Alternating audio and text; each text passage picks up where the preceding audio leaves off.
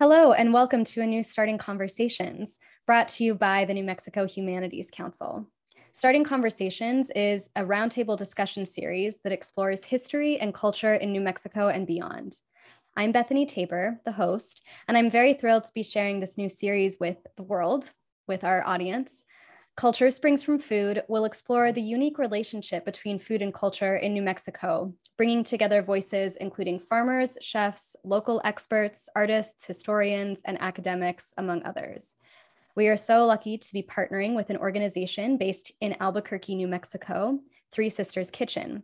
They are a nonprofit kitchen, cafe, and community space focused on nourishing communities through food, education, and public engagement. Today's episode is examining this phrase or idea, cooking as archiving. What we want to explore in this discussion is how cultures preserve themselves through culinary practices, cooking, rituals, community gatherings, etc. We're also looking at how historians incorporate food into their research and how cooking or food rituals create a living, breathing archive.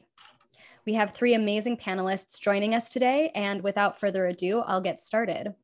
I'll open with a general question addressed to each, and I'll start with Dr. Josie Lopez. Josie has been the curator of art at the Albuquerque Museum since 2018. She was previously a guest curator at the museum, where she curated the carved line block printmaking in New Mexico. Currently, she is working on organizing upcoming traveling exhibitions for the museum and exhibitions featuring a broad range of art historical and contemporary themes. Josie oversees the museum's collections and the permanent exhibition Common Ground Art in New Mexico. Prior to her curatorial position at the Albuquerque Museum, Josie curated Puerto Rico Defying Darkness, Currency What Do You Value, and Species in Peril along the Rio Grande. Josie completed a BA in history and a master's in teaching at Brown University. She completed her PhD at the University of California, Berkeley. Her dissertation explored printmaking in 19th century Mexico, Spain, and France. Josie's research interests include examining art as a discursive agent in the political arena, the intersections of art and the environment, modern and contemporary Latin American art, and the history of Mexican and New Mexican art. As the 2013 to 15 Eleanor Tufts Fellow at SMU, she taught courses on modern Mexico and the prints of Francisco Goya. She has also taught courses on the history of printmaking and European art at the University of New Mexico. Josie, thank you so much for being here. And I want to hear your perspective on when you hear this phrase, cooking as archiving, what does it mean to you or what does it make you think of? Well, I think it has, uh, I, first starting with definitions is probably a good place. And when we think about cooking, we often think about the activity of preparing food, for example.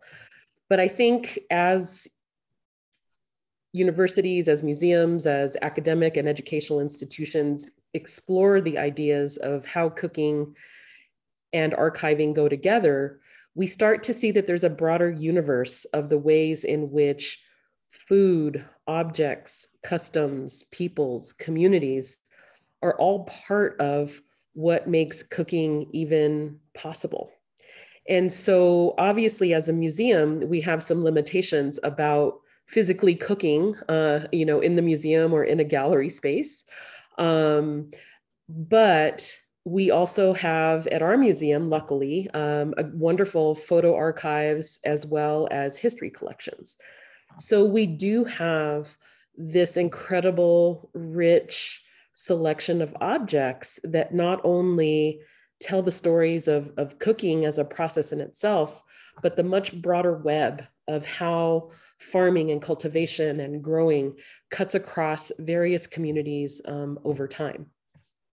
And of course, you know, through film and photography, we can capture certain elements, but I have to say, the sights and the smells and the tastes, um, you know, are not necessarily apparent in some of that archival material. In terms of archiving, I think there's another also conversation that's happened, especially um, in museums in particular, but also academic institutions of what, what is it that creates an archive and who gets to decide what materials get included into that archive. One of the broader conversations that we've had at our museum is that historically something had to be 100 years old right, for it to be considered history. Um, and we've really shifted that thinking. We've really broadened the way uh, uh, and asking the question in a much different way now, where we ask, what are the things, what are the ideas, what are the customs, what are the histories that we need to pre- pre- be preserving today for tomorrow's generations? And I think that's a different way of thinking about archives that's more inclusive of the diverse communities, certainly in Albuquerque, but across our state and our region. And so those are some of the, the ways in which we think that not only food and cooking, but all of the larger web of what goes into allowing for communities to nourish themselves um, become really important for um, spaces like our museum. Uh, thanks. I um, I really appreciate that uh, that note about what do you need to be preserving today. I think that something that I think about all the time is this um, uh, what's happening now is the history of decades from now and and how do you help researchers in the future um, i think that that's really vital when we think about archiving um, next we'll hear from Andi um, Andi Murphy uh, from Diné Ancestry is the creator, host, and producer of the Toasted Sister podcast, a show about Indigenous food.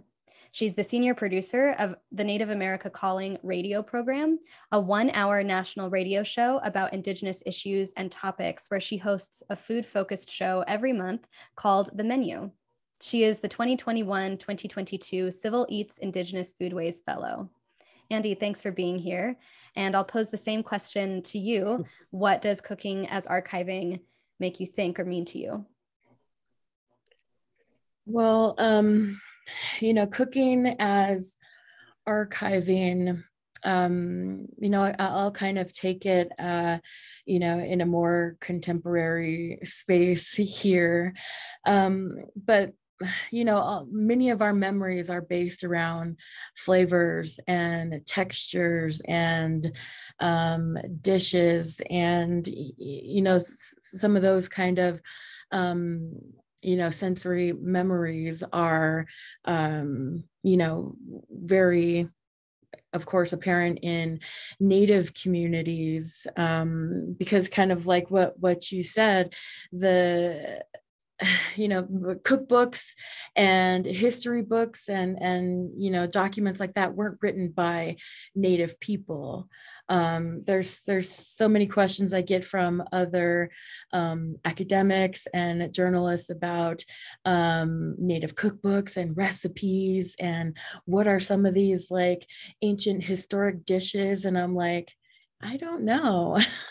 you know, we pass these things along from generation to generation, from learning from your grandma, from learning from your mom. Um, and, you know, it's just recently that we are documenting a lot of these things. And, you know, with all the, um, you know, forced assimilation that happened in uh, America and the, you know, whole boarding school era where, you know we were taught force, forcefully taught a whole different way of cooking and eating. And our traditional foodways were just disrupted and um, in many places severed. Um, you know so there's there's this relying on that uh, uh, those flavors once you come across it. Um, you know, it could be randomly just at uh, a fair or a restaurant or your friend's house, and and that just the flavor or the smell just like triggers you to remember what uh, you know grandma used to cook before she died or um, oh i remember that's how my mom used to make it. So you know the, there's that kind of um, archiving that's happening just actively right now um, and i think that's uh, you know some of the things i don't i think uh, many people don't understand about native american food is that there are um, just lots of changes and lots of um, individual connections to food. I mean it's just very hard to put like blanket statements on native american food and dishes because it's so individual. I mean the the archive is like here on my table uh, right now connected to you know stories and memories within uh, each of our families. So um, you know on another um, on another plane you know um, one of the things in journalism they always say is that you know newspapers like the first draft of history. Um, you know i kind of consider myself uh, um, you know a, a, person contributing to some of those first drafts of native american um, you know food history right now by just putting all of these voices and dishes and um, uh, you know, flavors um, into podcast form, into written form, so that uh, uh, people could could learn from um, learn from uh, our food and in turn learn about our culture and about our people. I love when you said that your archive is on your kitchen table at the moment because that also it speaks to this um, this idea that we have the dominant idea of an archive we think that it has to be something that is in a museum or written documented in written form in a book and when history is made and preserved through um, changes through individual families and and um, uh, people meeting one another and different um, cross pollinations happening things like that um, and so it even challenges the notion of what an archive should be or how to how to define it. Um, yeah, so I appreciate definitely. no, there's a lot of there's a lot of movements right now in Native America to take um, to take uh, back ownership of all of this knowledge, um, because like you said, the there was a privilege of who got to write the history, and who gets attributed when um, talking about any kind of subject. You know, it was mostly white men, and um, you know, right now we're still in this thinking that it's not fact unless it's written down, and right. who wrote it down some some old white man who died a long time ago who stole it from people of color mm-hmm. Mm-hmm. um thank you for the thank you uh, and I'll finally move on to our third guest, Dr. Eric Romero. Eric is the interim chair of the Department of Languages and Culture at New Mexico Highlands University, the vice chair of the Diversity, Equity, and Inclusion Advisory Council, Senior Associate at the Center for the Study and Education of Diverse Populations, and the Interim Director of the Center for the Study of Northern New Mexico and the Greater Southwest.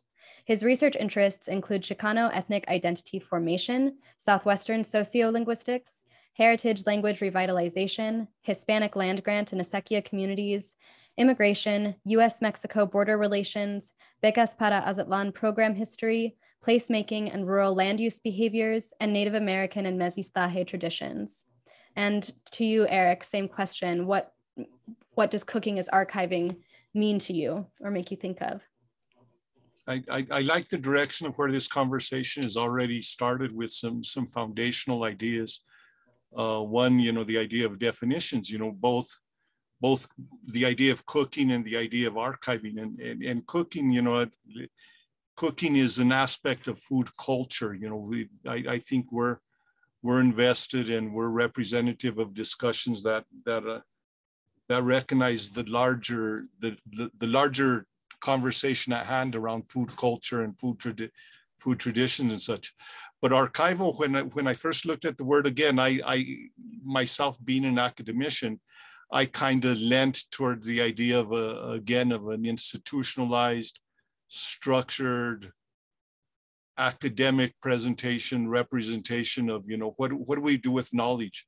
What do we do with culture? And so that's deeply affiliated with well what are the institutions?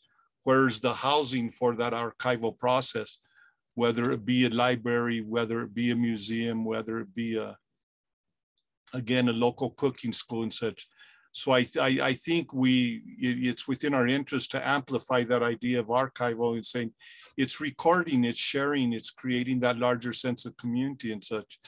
And, and what do we use an archive for? You know, one, it's not just for posterity that we want to capture folkloric knowledge and it has to be 80, 900, 120, 200 years old before it has a recognized value to be inserted within a, some kind of archival process. Um, I, am really appreciative that a lot of the museums and uh, and institutions of higher education are looking at the archival process as an invitation to dialogue in a, a conversation rather than just a, a, a like I say, you know, a, an archaeological demonstration of where knowledge is at. It's more so utilizing representation and, and, and being inclusive so that people have a venue to be able to show this is our history, this is our story, this is our anchoring, but use it as a dynamic process to engage further in the communication. Most museums now, and, and again, we know the history of museums that they were they were limited, you know, they weren't inclusive and it was uh, there was appropriations that had taken place and and misuse, misrepresentation of knowledge, et cetera, et cetera. So there's been some significant changes, a hermeneutic shift geared more towards the idea of, of interpretation and utilizing artifact, utilizing representation of behavior as an incitement to, to dialogue about how does this impact individuals? How does this, how do people contribute to that discussion? How, where's where's their take on it right? You know it works best when it's a question rather than an answer. And so you know when we look at installation and and look at a, a recipe book you know recipe book the best recipe book has the folded the folded dog ear and it has a little bit of noted there. It says in my house we modify this one it's it's not a it's not a it's a suggestion but the, but it doesn't require a, a, complete adherence to or or blind obligation to the author. It's it's an invitation to to play around and to negotiate and to navigate things and such. So I think when we speak about food tradition, um, and and and cooking as that process, we want to recognize it as that dynamic communication that reflects culture and we reflect different kind of economic and other social cultural practices that have had an impact on our historic communities. And I want to continue on this thread of, of um, engaging with communities and allowing the archive to sort of be a public engagement um, and proliferating through people's participation. I want to hear about more on your work organizing the digital Matanza. Um, and maybe you could give us a primer on Matanzas in general, the tradition. But uh, I want to know sort of um, where that project is stemming from with the Manitos Community Memory Project, and why is it important to um, continue participating in this community ritual and, and codifying it in or translating it to a digital archive? Okay, okay, and and so again, this is a project, the the the, the Manitos Digital Archive, and, and spearheaded by Esteban Rael-Galvez, you, I'm, I'm, sure everybody's familiar with it. He has a, a, tremendous repertoire of work, you know, cultural and historical work in New Mexico. So the digital archive is framed as is precisely that, what I mentioned earlier, an invitation for dialogue for people to include their stories and create this, this larger sharing mechanism of story, whether it be grandma's story, whether it be something, you know, from uh, an academician or such, giving, allowing for that venue so people could contribute their own stories and recognize, you know, where their placement is within a larger discussion. Uh, I got invited to be part of it because of my dissertation work. I come out of a background of cultural linguistic anthropology, and my dissertation was directed at, you know, story and the narrative formation of querencia and place identity, and, and not to go extend into that. So I've been working with this idea of story and place for a long time now. And so we're, we're creating digital space for that take place. We're all familiar with, with that, that beautiful context and that beautiful social, social situation when people sit down and they feel comfortable of sharing their ideas. In fact, much of human social existence is storytelling. We're all, we all engage in storytelling, whether it be text written or, or, or the story around the kitchen table or, or just even, you know, the majority of our communication, our, our personal anecdote and story and such. Um, so there's structures to those stories, et cetera, et cetera. And to the degree that we recognize where those stories are and, and support them and facilitate for them to take place, that lends a, a lot in the sense of not only cultural sharing, but community building, this idea that culture and community and, and communication are all articulated and tied in together. They're one in the same entity. Uh, the digital archives is, is, is uh, an attempt to bring it to a larger audience who doesn't have the, the privilege or doesn't have the opportunity to meet with, uh, with any kind of frequency of saying the Sunday afternoon discussion in the city park or, or just running across a neighbor, uh, across the fence, etc. The digital ar archive, Manito Digital Archives process or project is designed to allow for that kind of larger exchange using, using uh, digital materials or dig digital exchange networks, et cetera, et cetera. So the, the Matanza component to it is, let, let me share that we've been um, here at Highlands for about 12, 13 years. Our Mecha student organization as a community giveaway, we've been working with a Matanza. Everybody familiar, a slaughtering, a, a sharing mechanism. And with our Mecha student organization, it was framed as a community giveaway, uh, a repartimiento, a distribution to community members that have contributed to the different projects that the, the Mecha student organization was involved in. So we got started with that maybe, maybe as much as 15 years ago. And we were doing a traditional hog matanza. We would, we were doing our own um, slaughter and butcher, you know, do our own harvest of the animal. And we would take it off campus and do it in a traditional manner that's been in place for, for quite some time here in New Mexico. And of course, it's representative of much larger history. So we started to do them here at the university at large. And so what we frame as a university matanza is a little bit different in, in the sense that it's not traditional because we're not doing the dispatch. Uh, we're not doing the, the butchering, those have to be, you know, for public health, uh, hmm. EPA criteria, you know, uh, again, you need a registered slaughterhouse and a butcher to do that work. So, so we have that done for us. But at the university, we actually even built a facility that we're calling our cultural park, where we allowed, where we're, we were able to sponsor this event. So we did one three, we did them 14, 15 years ago and reinvented them came back to doing them three years ago, and, and then we did one just now in October. Hmm. And we fed maybe around 700 people, and we have a, a permanent pit where we pit cooked a steer and two pigs and did 600 pounds of chicharron wow. and did a whole, yeah, we, so it was a big operation. But the digital, the digital matanza aspect of it is kind of to demonstrate some of the imagery around again not not so much the cooking procedure because again that you have to be there. And and and and and as as Andi had mentioned that sensory issue you know you you you you can't write about smell in a book. You can make reference to it but there's a phenomenology there in place you know you you, you can make reference to how food tastes but you really can't describe it that adequately in a recipe book so same thing, we're, we're, we're saying this is how we do things. This is the, the social event and this is the cultural sharing that goes on.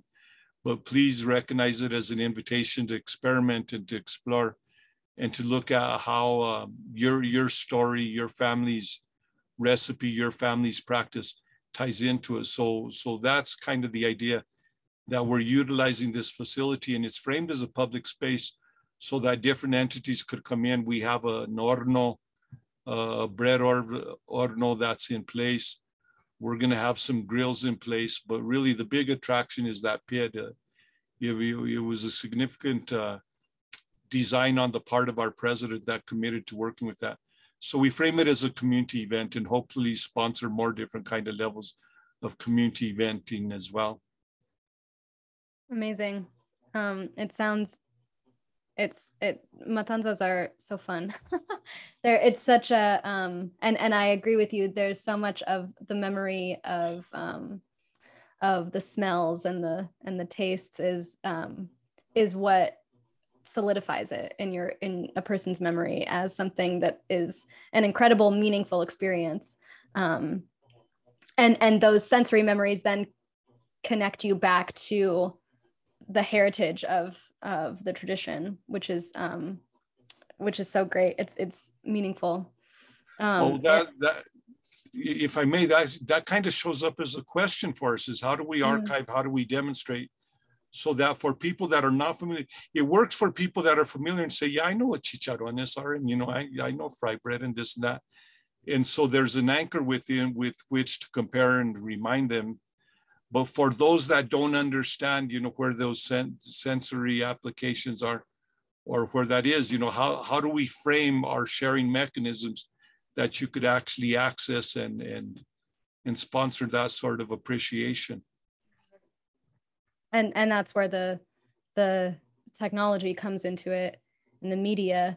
Um and, and I, would like to throw in a yeah. comment too there um you know also deciding what doesn't get shared mm-hmm. um and i think that uh for myself personally in dealing with cultural mater- material whether it's from my own you know latino cultural experience or whether it's indigenous communities that we're engaging with is you know it's just as important to decide you know what we share but also what we don't share and um, you know that's something that's come out of some recent projects that we worked on that has really solidified in my mind in terms of uh, our responsibilities to you know not only um, collecting and presenting the history, but also framing it.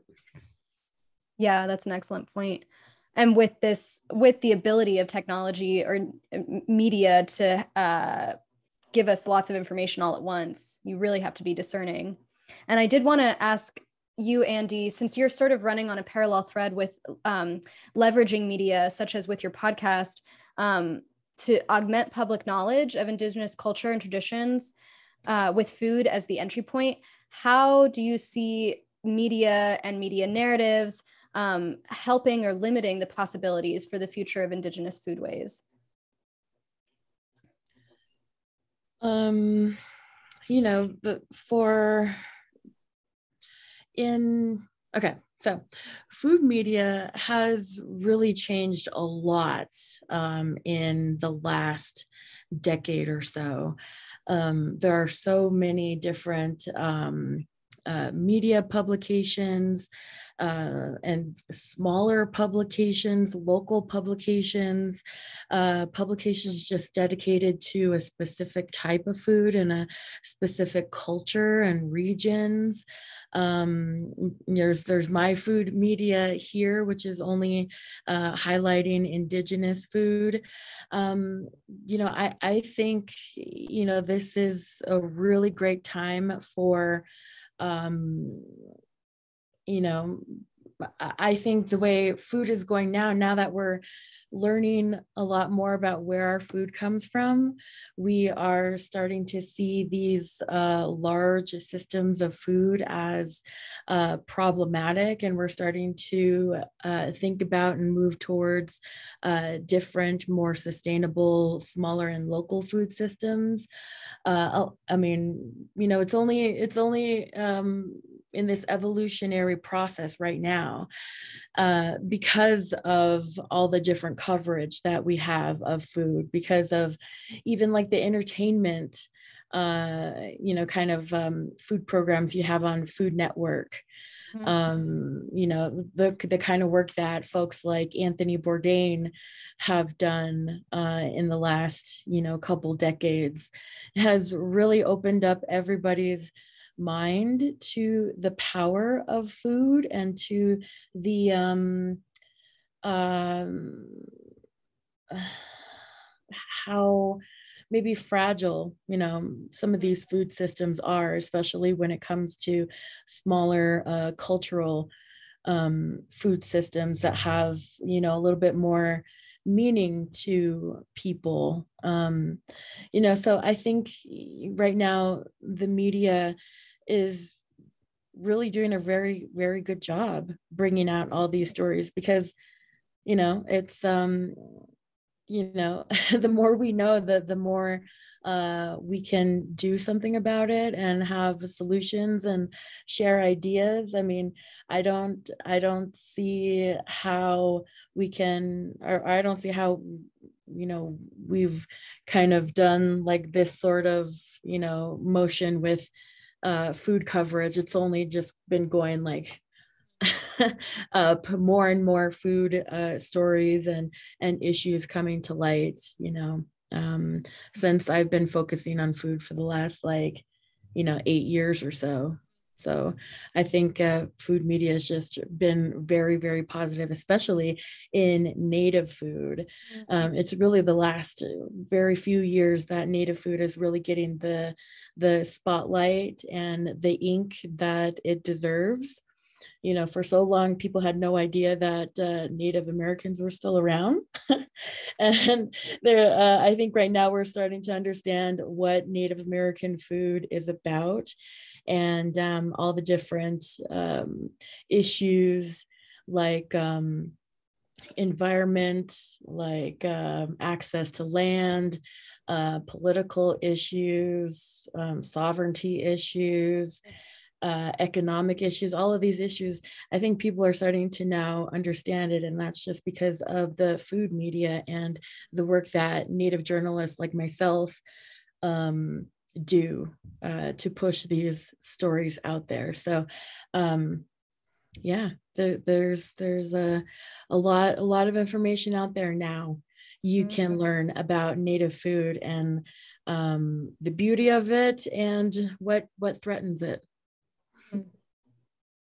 And I think and the other thing that is uh, interesting to me, relating what you just said to Josie's comment, um, the fact that people have um, now a lot more uh, agency over what they share and and um, obviously there's still progress to be made. We're not we're not totally at the um, universal accessibility level yet but there has been lots of access made to publish like self-publishing podcast or having a website having um, having blogs. And that amount of agency also allows people to sort of um, to sort of maintain like privacy around things that like parts of traditions that that they don't want to be shared um, and sort of it allows people to shape to to shape the media narrative um, when when they have the agency and the sovereignty over over the stories that they that they tell and that they want to be out into the world mm-hmm. Mm-hmm. which i think is nice um, and and Josie, I want to um, since we've been talking about these these methods in in creating archives, and this maybe goes back to what you were saying um, in your first response, but I do want to dig a little bit more into um, your work as a curator, engaging with archives, and then uh, interpreting them for public facing ends. Um, and how does food provide historic provide context to historical research? Um, and how does it sort of fold into a museum context? Yeah, um, can I share my screen? Yes, I believe you have uh, the option. Great. Um, let's see if I can do this without getting too confused here. Um, okay. So, um, you know, obviously, as a museum that has collections of art and history, um, you know, we have a ton of like manos y metates. We have our history curator recently collected, I think, a pressure cooker from like the 50s or 60s. I mean, we have like, I can't even tell you, you know, the stuff that we have that tells the stories of cooking and it and it cuts across all kinds of communities and cultures. Um, but one of the things that our museum is really grappling with right now is how do we utilize both our collections and our exhibitions to kind of push against the idea of the tricultural myth, which has been present in New Mexican history for, I don't know, ever, right? I think probably um, that's something that this group could talk on for probably days. But so how do we utilize those collections to also create projects that we're, we're, we're pushing about and thinking in different ways? So one of the ways that we found that's been productive is through some of our exhibitions and projects. So the image that you're seeing here is actually a project that we did with the Seed Broadcast Project, which is part of the Art and Ecology Department at UNM. And they are a collective that basically went across New Mexico and collected seed stories. So each one of these glass gourds that you see here contains uh, seeds from a specific farmer. And then the earth on the rammed earth structure is the earth from that farm. And then uh, from above, you actually hear an audio, a story of that farmer talking about those seeds and what they grew and what they cooked and how they cultivated it. And honestly, this was one of the projects that allowed for us to acknowledge the complex and complicated histories that exist between the three cultures that supposedly you know have lived in new mexico peacefully alongside of each other for centuries um, to acknowledge that challenging and difficult history but at the same time to understand that farming is something that cuts across all of our communities it created an opportunity for us to connect and engage in different ways. And so some of the triptychs in the background, you'll see there's like the, uh, the Tewa Women United uh, participated in this exhibition. The programming that went around this also was fascinating because we had um, a really beautiful memorial to one of the Dene farmers that were also part of this that um, who passed away um, earlier than than when the ex- exhibition came up and so his grandson talked about what it was like to learn about farming from a Dene perspective. And so it was a fascinating project, but what it what it taught us is that what we collect and how we collect matters.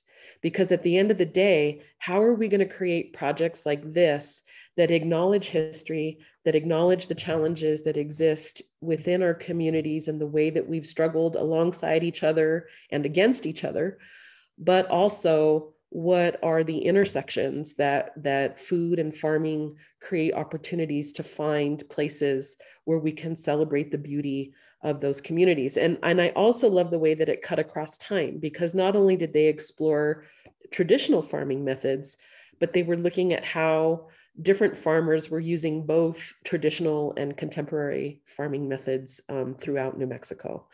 And so um, it was just a fascinating project but it really i wanted to to show it to you because it really shaped you know the way that that i think about our collections and our and our exhibitions also as archives right? We often think that it's just the objects we collect but it's the projects that we realize. It's the collaborations that we build and create with community and so for me um, that's also part of our museum's archive is the programming and the exhibitions that bring together um, communities. And then this image here um, is a mural, a word uh, mural that was done by Ruben Olguin. And these are plant-based, um, uh, uh, the, the material that you see on the wall are earth-based um, materials that Ruben collected all over New Mexico mm-hmm. and then used them to paint this mural. And he told the story about how very, very precious and rare this particular gold earth is to find. And he mm-hmm. decided to use the word resilience um, as the way that he wanted to use that pigment in his mural.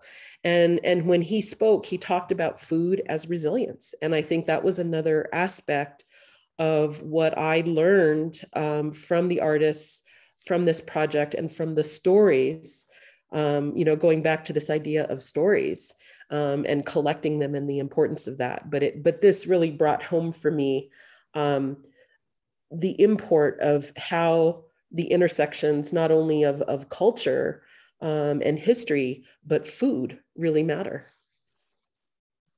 Wow. Um, Could I comment on that idea of resilience? I, I, I really do appreciate that, Doctora and and more so because again you know I, I i think part of our larger conversation is is is is very much that that discussion or that dance between what what is traditional food food culture as opposed to innovation and creative and and navigational kind of projects. And i think for for many of us in new mexico and in southern colorado i i always include uh, the, food is identity as well and and, and particularly the food that's directly coming out of our landscapes that we either personally or we're familiar with who work that land to be able to bring it to our tables and such. And I think that's one of the areas where, where New Mexico food tradition is particularly rich because there's a direct relationship to the fields and the landscapes and the, and the hills where we hunted and gathered and grew this food ourselves. and so there there there's a special flavor to it because if it came from your own handiwork you know the, it does have a different kind of meaning set and so consequently historically the adherence to and that um,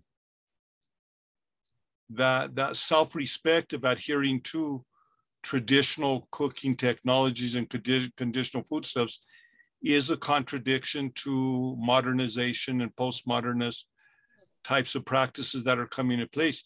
And so consequently, there that's where part of the history is. Uh, I, I agree with Dr. Lopez in the sense that when we look at foodstuffs, particularly the the, the development of foodstuffs that come with the different waves of colonization. In New Mexico, we've had two significant agricultural revolutions. One is when we moved from hunter-gatherer society and moved to Three Sisters agriculture by means of articulation with Mesoamerican indigenous groups and, and that networking process that came in place. And of course, with the Spanish colonization process, it, the, the introduction of so many different types of technologies and foodstuffs and, and fruits and et cetera, et cetera, changed around and lent for a new creative process and a balance because again, colonization is very aggressive. It's, it's bellicose, it's, it could be very nasty at times. But afterwards, when you achieve those balances of what does that mean and how do we start truly incorporating and building community and and, and and mixing these these different kind of cultural traditions i think that's very much reflected in our contemporary food traditions because we have that. We have those balances reached again we as an example within native american cuisine and fare you have mutton and fry bread and again those those are european introductions that take on a particular meeting within indigenous communities and such. And so we have a lot of those those those stories and those those intersections of where well, a foodstuff came from one area was introduced but then it becomes real create a creative outlet. And for me you know the, the, to go into some of the restaurants in santa fe or albuquerque and such and there's a name for something. When taco bell came out with the enchilada i was appalled at first and saying there is no such a thing you know but then I recognize that's that's the creative process mm. that cuisine is about. Cre- cuisine is a culture, it's a communication, it's a dance, it's it's it's a creativity. And even though it tastes better if you understand the, the, the deeper historical meaning of how these foodstuffs came about and how they were part of our, our landscape and our culture, it still gives us potential and possibility to play with new areas, but also to recognize for some people, there's an adherence to a particular way of doing things because it is a cultural resistance in and of itself. Yeah, and the importance of maintaining um, that strict adherence to a ritual or a rule or um, uh, using using the rules as guideposts to maintain to make sure that the culture um, maintains itself and so that it doesn't just like blend into um, blend into anything into its own disappearance. And i um, this this notion of, of food as resilience um, i know that Andi that also is sort of um, a through line in the in the podcast and i um, i just want to know sort of um, your thoughts on resilience, resistance, and um, and and this notion of of all the different t- ways that indigenous food is remixed through throughout history, throughout time, and families. Yeah, um, you know, just the fact that uh, native food is still here. I mean, that says a lot about resistance, and there's a lot of work happening at, um, you know, a lot of different levels to uh, reclaim different um, uh, ingredients and seeds and um, you know you know sometimes bring back uh, traditional ways of doing a couple of things and um, you know, I like, I, I think somebody, uh, you know, kind of alluded to different um, uh, ceremony and you know there's a place for these foods um, very specifically. I mean that is um, something you know that that uh, you know food and ceremony and um, different parts of our lives and how we choose to acknowledge like special events you know go hand in hand with food i mean holidays you know contemporary holidays is like all about food. Um so you know i think um you know it's it's uh, there's there's a lot of um yeah, there's a lot of sharing that happens uh, today in Native American uh, food culture. And that's something that I really enjoy seeing.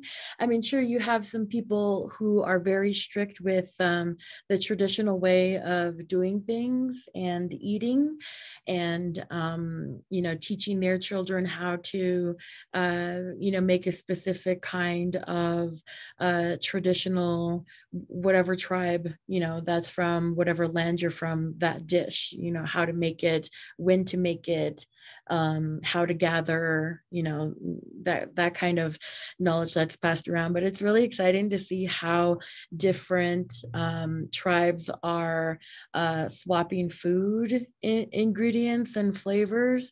Uh, it, it's it, it's really exciting to see the chefs who are working uh, this kind of like intertribal um, fair, this intertribal uh, culinary um, you know party that's going on. I mean because that's that's traditionally how it's been right? We've always uh, we've always swapped ingredients and um, you know traveled along all of these trade routes. Right now our trade routes are social media and uh, online shops where i can have access to um, you know salmon and wild rice and um, you know syrup uh, maple syrup from the tribes up north and uh, around the coasts.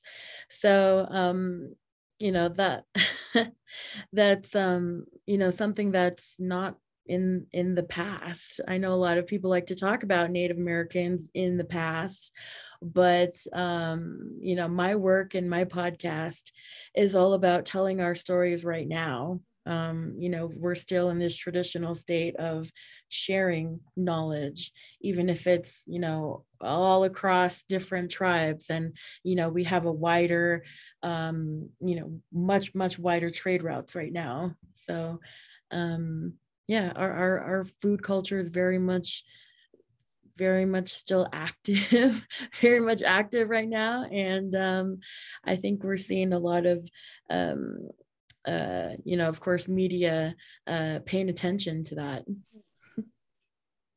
And I really like that uh, um, the sentiment of like the tradition, the mainstay tradition of all cultures really is knowledge sharing and circulation, and that um, will forever exist. That's sort of um, humanity wide, and it and it when it's not being used in an oppressive way it's it creates these beautiful um, proliferations and progress of humanity. And um, and and i really like the framing of knowledge sharing uh, being a tradition that exists through things like social media through things like um, the being able to like the technologies that afford us like refrigeration being able to um, to trade across continents um, and across oceans because of um, because you can preserve ingredients and food um, yeah, I like that framework. I, I, think yeah. it's important. Andi brought up the point of uh, where food tradition could be tied in with ceremony and, and, and spiritual understandings as well. And I think uh, we, we, all recognize that within our, our, our, our, food traditions, there's a direct articulation with, with, with nutrition and wellness, and wellness both in a physical and a spiritual sense as well and for that matter, again, you know, with the, with that place-based, that land-based orientation of recognizing where foodstuffs come on, come from, we're we're very strong with understanding where where our medicinals are as well, because medicine, medicine and food are are not are inseparable for one another, and and for many of us, that takes us way back to hunter-gatherer tradition. You know, we I know where the Osha fields are. I, I know where the the the Garambuyo, the elderberry are at.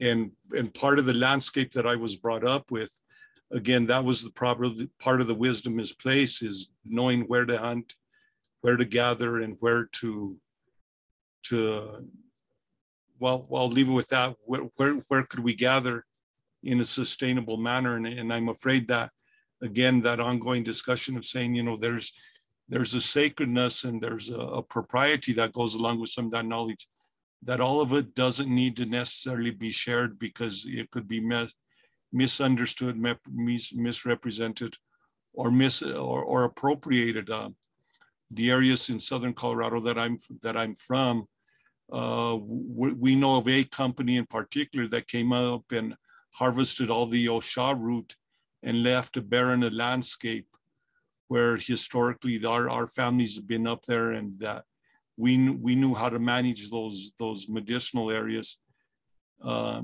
because there was a respect. And I think again, you know, to the degree that we share our, our knowledge, our wisdom as it relates to food production, food uh, food transfer and, and food productivity ties in with that larger issue of, of, of sovereignty. And within the sovereignty discussion, there's a, a land-based discussion is placed. Uh, again, I mentioned the, the, the, travel, the, the tragedy that we're dealing with up here with, with a significant loss of Sierra. Um, how, how is that going to impact many of our people that had relied on those those mountains and hills and valleys for foodstuffs as well and what's going to replace it and, and and coming back to looking at reconstruction models does is it going to allow people to go up there to to be able to access that land and that becomes the the bigger issue uh historical political issue because our traditions our food traditions are based on access to landscapes and we know historically that those were appropriated by different different forms of colonizing governance that came in and it extracted people from their landscapes and extracted them from their own food sovereignty uh, uh, protocols. Yeah, I, would love to pick up on that idea of food, food sovereignty also. Um, and I have a couple of images again, if that's okay, or if Andi, if you want to go first, I can go after you. Oh, well, I wanted to uh, just uh, uh, have a quick comment about, um, you know, there's also, uh, you can talk about discrimination, of course, when talking about food too, because you, you mentioned appropriation that happens. I mean, sage right now, right, is like yeah. hot. Everybody wants to have sage for some reason. Um, and, uh, you know, th- there's similar stories like that where there's uh, this company that came in and took everything or, um, you know, a restaurant restaurant or two popped up and uh, owned by a non-native uh, person um, who just used those recipes and got famous off of uh, recipes that they quite literally stole from, you know, little old ladies in Mexico. Um, you know, and, yeah. and, it's that kind of like uh, discrimination, um, you know, of, of wealth a lot of people of color don't have that kind of um, wealth to just start a business and and you know make a living off of their own food and their own uh, family food knowledge. It's um, something that I've talked about uh, a lot in my podcast too, with um, you know lots of different chefs, and and then uh, you know another thing you mentioned, you know the Matanza, you had to go butcher somewhere else, or you know there's a lot of that kind of po- policy um, that uh, keeps our food from being uh, shared or used how we want to use it. A lot of uh, traditional native foods can't be sold uh, because of you know food policy and safety policy. Um, a lot of uh, different game animals can't be uh, sold or shared in like restaurants or anything like that because of these policies. So you know these these some of these traditions just have to live very small in our families and in our little spaces instead of you know um, you know being shared at a, at a more wide scale but you know there's a that that's kind of like a double-edged sword. Do you want to share it with everybody or you know do you want to keep it you know um you know in this intimate setting in your in your own community? Yeah, absolutely. And josie did you want to yeah i was just going to share one other um, project that actually i think might tie um, some of these ideas um, together um, and it was this was basically a project that i did um, at 516 arts and it was called um, puerto rico defying darkness. And so in this particular exhibition you know there were so many different artists that were reeling because it was in the aftermath of um, hurricane maria and so in the same way that you know we're talking about here eric is talking about um, you know, the devastation. What does it mean to have land loss? What does it mean to be in a situation where you're grappling with, you know, historical um, homelands being devastated? And so there were so many different artists that interestingly brought in food as a way to talk about that and how in many places even though you live on this incredible tropical island it's a it's a food desert because there isn't sovereignty. There isn't this opportunity to grow traditional foods in the way that it had done in the past. And again, bringing back in those layers of colonization by the time Puerto Rico gets to the point where US imperialism kind of um, encapsulates what's happening there economically, politically, culturally, you end up losing some of those opportunities. So there's this struggle, there's this fight to, to keep that food sovereignty you know on the island. And in this particular work you see that these vases which are like the Rome, the sort of objectified bodies uh, caribbean bodies that are inhabited by the tropical fruits and of, of the island you know here again it becomes like the sale the commodification of culture and foods and traditions.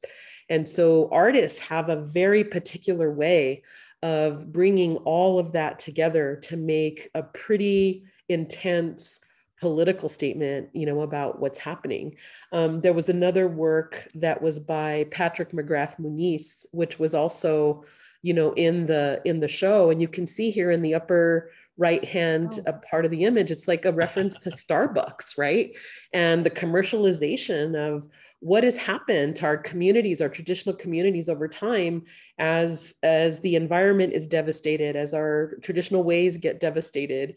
You know and this has a crazy amount of references to you know the current moment and things like you know francisco goya with the dog looking up at the boat in the bottom right hand corner.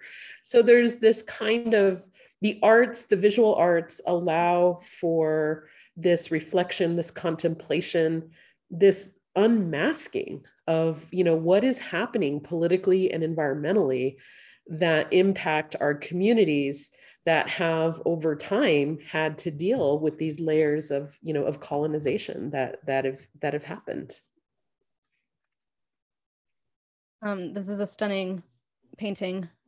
And i and i appreciate this uh, understanding too of of um, the importance of art history art historical knowledge and um, and the the way that artists um, can make political statements through individual expressions um, and by reaching back to other traditions um, it all it, it interweaves um, in a really beautiful way. And again brings it back to this question of like how do we understand an archive? And does it have to be something that's documented in books and um, and and put away in in institutions that can or cannot deny you know they decide whether they provide access to people for for research and and knowledge sharing. And so it's um um it's it's just interesting to think about this this who is producing the knowledge who is circulating the knowledge what gets protected what doesn't. Um, it all overlaps in interesting ways. Um, my final question for today is like very macro, big picture. Um, so that's like a warning. um, that uh, I wanted to ask this final question of like, how does cooking or food ritual or food sharing, storytelling, um, how does that create social cohesion? And that's for all three of you, of course. Well, you know, it brought all of us together right now. um, Good you know, point. food- you know, f- I, I know it's kind of cliche, but yeah, food brings everybody together. And, um, you know, the, there's nothing that, uh, um, uh, I don't know, you know, that, that's, um, being a, being a food journalist, I mean, just, there's no shortage of stories. There's no shortage of um, you know issues that pop up and uh, s- stories of people making changes because you know food is of course we need it to live every single day and it gives certain people power. It um, um, you know means that certain people don't have power. It it uh, it is something that we should be paying a lot more attention to i think.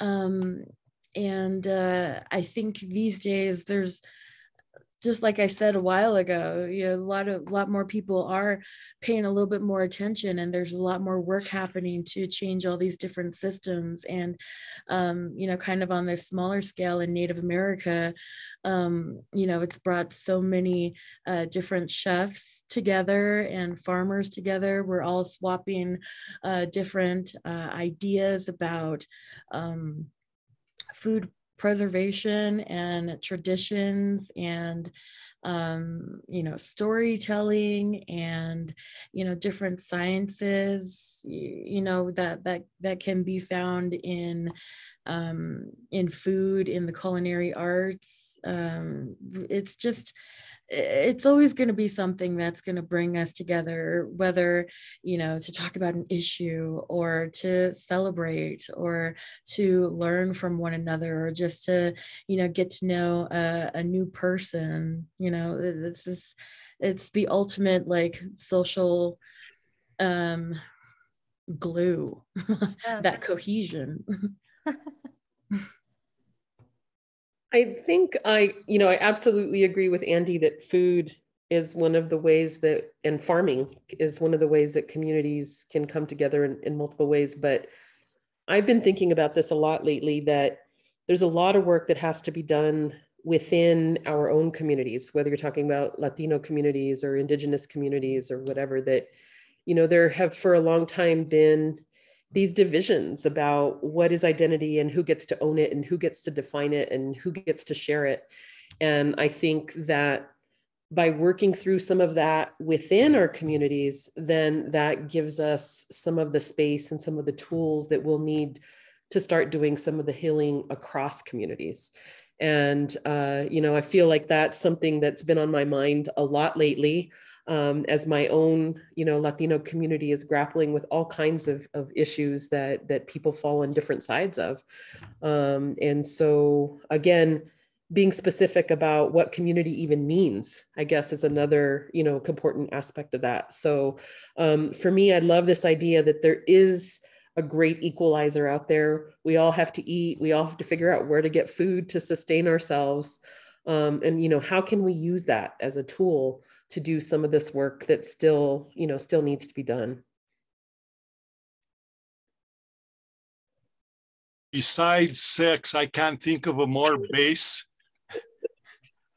endeavor that we have to be involved in for, you know, for for for comforts and pleasures and and and subsistence and survivability but we don't get to talk about sex in an open space food we can. That's a public forum. That's automatic. It's a private enterprise that we get to make public because it is so common amongst us all. Um, I, if i didn't mention it my, my academic background is social uh, cultural linguistic anthropology and i've got i've had the opportunity to work in a lot of different uh, communities and such. And so for me there's a big list of things that i've ate amphibians, reptiles, insects. I've ate dog before, et cetera, et cetera. And it's really interesting that I use it as an exercise for inclusion. In, in some of the courses that I, that I that I work with, when we want to talk about inclusive practices and, and, and developing that cultural relativity of, of, of, of, of recognizing that people have different palates and we eat different kind of foodstuffs, it, it, it's again, it's that equalizer that Dr. Lopez talks about. It's a commonality that we all share. And we could use it on a lot of different kind of levels of discussion. And for me, the bringing in that inclusive discussion down, well, how many of you eat hot dogs and bologna and tell them, do you know what goes into that? You know, when, when they say, oh, you ate an iguana and they, they make a frown and a face and I say, yeah, but you eat hot dogs and, and that has everything in there, you know, so, so let's be a little bit more respective or cognizant again of, of, of food culture from different kind of traditions such. But again, it's a common communication because it is such a base human function of us to eat and for us to be able to bring that private sharing into a public as long as it's respectful though i i, I got to anchor that discussion you know because sometimes we're not re, uh, respectful because they think there's a certain way of, of preparing the foodstuffs and there's an authority and and uh, an arrogance that goes along with it. So as long as that particular discussion is is respectful and and culturally uh, inclusive then it makes for good discussion say and and think about that is is is that opportunity for for communication saying we do things this way. How do you do things um it's it's it's almost a, an initial kind of, of of greeting here in new mexico is you ask a person well where are you from? And you could ask that question as well. Well what did you eat today? It's it's a common denominator. It's a coagulating factor.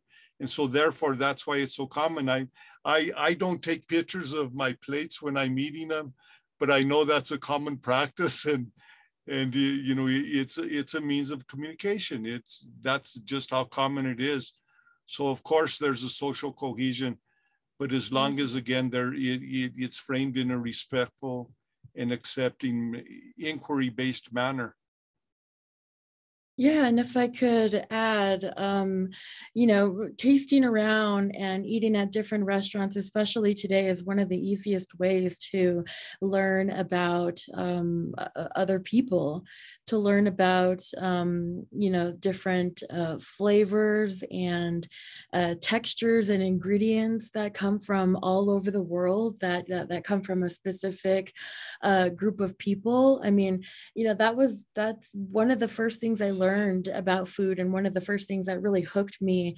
um, when it came to food is the just how how different everybody sees one partic- one ingredient like a potato or a chili. I mean god like it, it's it's so different. And and um you know in, in places like albuquerque and um you know anywhere you can have all kinds of different food indian food and korean food and uh, Middle Eastern food. I mean, if I would, I would really you know uh, tell tell the audience to go and broaden your palate and taste all of these different kinds of food. It just might make you curious enough to really learn about that uh, community and then learn about the issues and you know pretty soon you'll just be like obsessed with the world. And all of that can happen just by tasting food and being curious about it and and having an open mind about it. I mean i always t- tell people like you're going to eat every day until you die. You can afford to go you know try something different. You know don't just stick to macaroni and cheese and spaghettios. You know you can you're, you're going to get a lot more out of uh, tasting around your local restaurants than you know macaroni and cheese and spaghettios and, and of course, the strategy with that is always eat first and ask afterwards what it is. Yeah. Yeah. Yeah. yeah. And even if it's something that, uh, you know, you have questions about, just put salsa on it. I mean, a dead snake, uh, uh, uh, a rubber tire would taste good in a taco. yeah would have a would have a certain texture for sure yeah Cook it for 14 hours. Everything's good after 14 hours. yeah. True. Well, I love I love that as an ending point because I think that that's such a um, a fantastic conclusion, um, and I agree. Um, and thank you, thank you, Josie, Eric, Andi. Um, you're so generous with your insight today. Um, and I so appreciate it. And I also, of course, want to thank uh, Three Sisters Kitchen um, and my collaborators, Divana and Isha, uh, who have been working with me tirelessly to put this together. Um, so I, I truly appreciate it. And um, links to resources um, and further information will be available in the YouTube description. Um, so you can uh, broaden your horizons through through reading. Um, but go eat some tasty food. Thanks, everyone.